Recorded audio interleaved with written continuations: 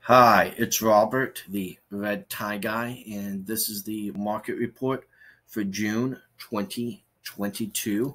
Uh, we're now in mid June, and the big news story is the interest rates literally went up just Monday. We're talking Monday, Tuesday, they went up. So before we were talking the mid to high fives, depending on where exactly you would consider mid or high now we are in the low sixes, and that is a very, very quick jump. Didn't just, oh, it's inching up.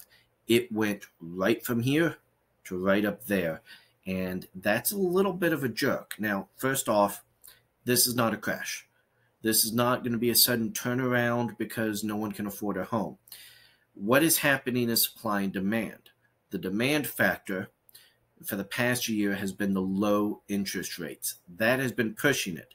People were bumping into each other, getting into bidding wars because they knew the interest rate wasn't going to stay this good for long. Now that time has come and it's not going to be as good anymore. Still doable, not as bad as it's been in the past, but it isn't the crazy excited one.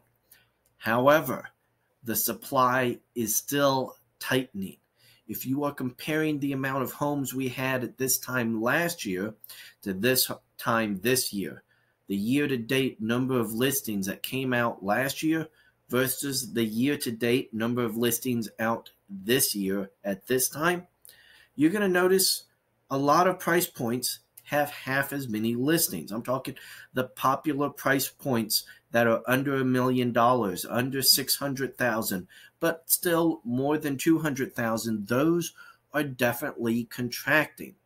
And we cannot get the new built communities up and selling fast enough to meet the demand. Those are going to continue to push the home prices up. There's just one less factor that is pushing it up as much as it has been. So, if you're thinking of selling, still a great time. It'll still sell quickly just because there's not that much competition for you and there are still buyers. Those buyers just can't offer, you know, the moon and the stars like they were before.